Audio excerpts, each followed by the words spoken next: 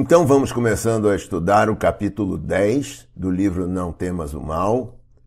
E dessa vez nós vamos colocar toda a nossa atenção na palestra número 100, que é Enfrentando a Dor dos Padrões Destrutivos.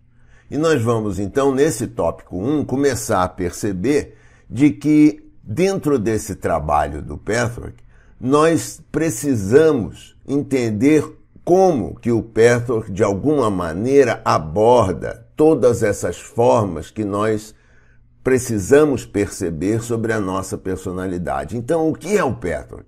É uma maneira de abordar as percepções sobre as quais nós atuamos na nossa vida. Então, nós precisamos ficar atentos a essas formas pelas quais nós atuamos em nossa vida. E é isso que se trata do Petroc. É, é assim que o Petroc funciona nesse processo todo, de uma percepção interna, de uma autopercepção interna. E para isso, então, nós ficamos continuamente tentando chegar cada vez mais próximos da raiz dos nossos problemas. Que problemas? Das nossas dores emocionais, dos nossos processos psíquicos que vão acontecendo na vida, das suas várias manifestações dolorosas que acontecem em nossa vida, do que, que essas manifestações dolorosas nos, nos levam, para onde elas nos levam, da necessidade, por que, que nós precisamos repetir, por que, que nós precisamos manter isso acontecendo em nossa vida. E tudo isso é necessário. Então nós temos toda hora que voltar para a dor infantil. E o pessoal geralmente, quando olha o Petrock, diz: Nossa, de novo? Pois é, mas essa dor infantil é algo que nós precisamos olhar porque ela sempre nos leva a uma percepção melhor sobre o que ainda nós não sabemos sobre nós. E portanto, essa dor infantil, ela parte de maus tratos. Ela parte de maneiras inadequadas de oferta de amor e afeto que foi oferecido pelos nossos pais, nossos cuidadores, às vezes com algumas crueldades.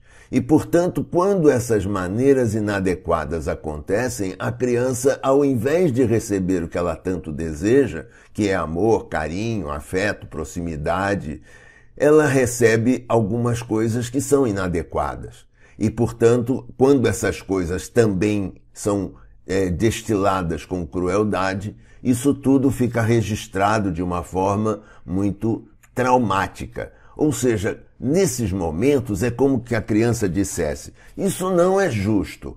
Eu vou ter que vencer. Eu vou mostrar para essa pessoa querida que eu tanto amo que ela está inadequada e que eu mereço um pouco mais.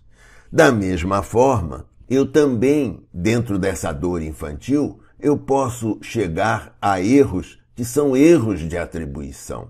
E, portanto, é como que se me considerassem não mais com a minha peculiaridade, com a minha singularidade. É aquela alma que veio para esse mundo de uma forma única. É, é, isso é esquecido e, portanto, tudo isso é generalizado. Ou seja, as crianças são assim, cala a boca porque quem fala primeiro são os adultos ou então, é, de alguma maneira, esta é a hora de dormir e todos têm que dormir igual e no momento certo. E, portanto, também esse desrespeito a essa singularidade nos leva a repetidos traumas. Ou seja, é como se isso aconteça todo dia antes de dormir. É assim mesmo. Então, a informação que a criança carrega nessas horas é: é assim mesmo, não há o que eu faça. E, portanto, só para classificar um pouquinho mais, é como que eu dissesse para vocês algumas possibilidades. Por exemplo, no caso 1, um, neste caso dos maus tratos, pode ser que aconteça um pai que não seja, na verdade, uma oferta cruel, mas um pai que de alguma forma ele tem uma característica intelectual forte, né? Ele é uma pessoa inteligente, uma pessoa crítica e, portanto, a criança começa a perceber no trato com esse pai que ela critica o vizinho, que ela critica as pessoas da vida, que ela critica as coisas da, da televisão e ela critica com um certo sarcasmo. Então é como se a criança então desenvolvesse uma forma de não querer ser classificada dessa maneira ruim e portanto essa criança então se torna erudita, ela, ela desenvolve uma autocrítica severa para que ela não seja criticada por aquela criatura que ela ama tanto.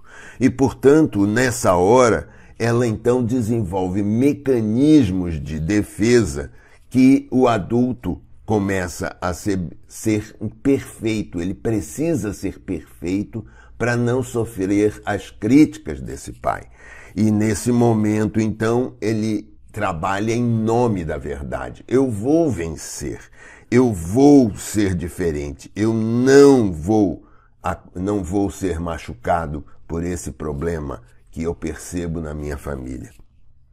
Também existe o caso de uma, por exemplo, de uma mãe cruel. Então, essa mãe age com crueldade em relação às crianças em função das dificuldades próprias dela. Ela está muito assoberbada, muito cheia de coisa para fazer, e, portanto, nesses momentos, essa crueldade começa a acontecer com as crianças, e essas crianças percebem, e elas dizem assim: não, mas é, criança Criança é, tem, que, tem que ser assim, tem que tratar desse jeito. E então a criança começa a interiorizar essa raiva. Já que ela é tratada com raiva, ela começa a interiorizar essa raiva. E ela passa a usar essa raiva para tratar com os amiguinhos. E, portanto, então, um adulto hoje formado, ele olha para isso e diz assim: eu reajo aos outros com energia porque de alguma maneira eu me defendo das injustiças do mundo. E essa criança então clama por justiça no mundo. E essa justiça acaba então indo como um papel de necessidade. E portanto essa dor acaba se perpetuando nesses dois exemplos.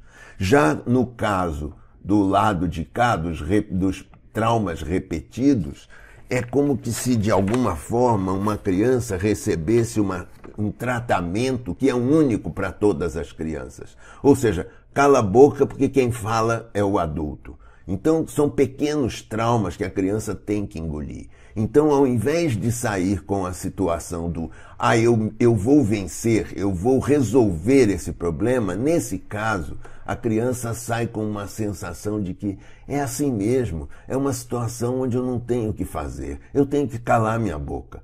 Porque, embora a minha singularidade não esteja sendo levada em consideração, eu gostaria de contribuir para essa conversa, para esse momento familiar, mas eu tenho que calar. É como que se dissesse: olha, o que é oferecido para as crianças é igual. É como que se tivesse aquele irmãozinho ou aquela irmãzinha que de alguma forma está muito excitado, muito cansado. Então está na hora de dormir. Então, na hora de dormir, é todo mundo que tem que dormir. Mas eu não estou com sono ainda. Mas tem que dormir. E tem que dormir e vai dormir à força. Portanto, de alguma maneira, esses traumas começam a acontecer e essa criança então vai para dores. E como esses traumas são sempre repetidos, eles acontecem muitas vezes, eles vão acontecendo no tempo, eles não são tão pontuais como esses traumas maiores, essas coisas que acontecem de fato e com as quais eu quero me vingar. Mas esses aqui, eles vão acontecendo com uma sensação de desistência. É assim mesmo, não há o que eu faça. Eu sou voto vencido. E, portanto, essas duas situações, essas duas vertentes, tanto o lado do trauma criado pelos maltratos, quanto o trauma criado pelos erros de atribuição, é como se eu considerasse uma pessoa que não existe, e, portanto, esses dois lados me levam para mecanismos de defesa. Eu tento me defender de alguma maneira, e nessa tentativa de me defender, eu crio aspectos destrutivos e específicos na minha vida. Ou seja, eu ajo de formas específicas que me levam a processos de destruição, quase sempre de autodestruição também. E nessa situação, então, eu preciso perceber de que nesse lado onde existem os maltratos e as maneiras inadequadas e cruéis de oferecer amor e afeto, eles saem com essa sensação de querer vencer. É como se eu dissesse, eu me torno reativo para poder olhar para o que acontece na minha vida e poder reagir a isso de uma forma que eu não eu preciso me tornar um pouco mais seguro do que eu percebo nessa família. Do outro lado, ou seja, quando acontecem os erros de atribuição e que me levam a traumas repetidos, e essa sensação de desistência acontece a chegar para mim, então eu vou para um lugar onde eu digo assim: isso não é justo, eu preciso mostrar que está errado, mas não tem condição é melhor eu ficar com essa sensação dentro de mim mesmo, porque não há o que eu faça. Então, em ambas as situações, a criança sofre, e nessa situação é como que se de alguma forma o Petro, o trabalho que o Petro nos leva, é dizer assim: nós precisamos ressignificar esse processo. Nós precisamos entender o que está acontecendo conosco. Nós precisamos olhar para essa ferida infantil de uma forma que eu possa saber como que ela funciona para mim, para que eu possa tomar decisões adultas melhores no momento onde eu realmente me encontro. E então, é como que se dissesse, nessa hora de ressignificar, eu preciso aprender a perceber quais são os problemas. Eu preciso entender quais foram os problemas que me criaram todas essas sensações. Eu preciso definir soluções que me possam criar maneiras melhores de agir na vida. E, portanto, se eu faço isso e isso, eu consigo começar a dissipar o efeito que essas feridas começam a deixar na minha vida. Então, basicamente, era isso que eu queria deixar para vocês hoje no tópico 1, nesse preâmbulo da palestra 100, que é extremamente importante para perceber o, ar, o, o, arquetipo do processo todo que nós vamos estudar nos próximos tópicos, mas que nesse momento é o que eu gostaria de deixar para vocês como reflexão. Como que eu posso olhar para as minhas feridas através desses dois padrões diferentes. O padrão do trauma intenso e o padrão do trauma repetitivo, que são diferentes, mas que na verdade me levam para mecanismos de defesa que, apesar de diferentes, causam dificuldades no meu processo de desenvolvimento adulto. É isso que eu gostaria de deixar com vocês hoje.